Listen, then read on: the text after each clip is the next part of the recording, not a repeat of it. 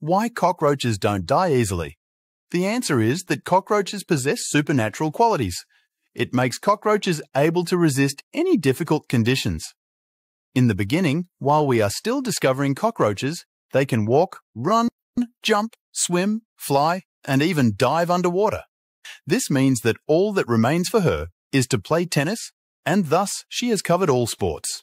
As for walking and running, in an experiment conducted on this American cockroach at the University of California, they recorded its speed, which was estimated at 5.4 kilometers per hour.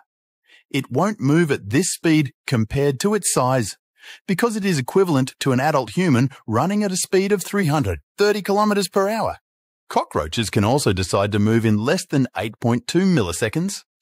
If you think you will catch him and kill him, he will have already disappeared from your sight in the blink of an eye. His tremendous speed is the first characteristic that protects him.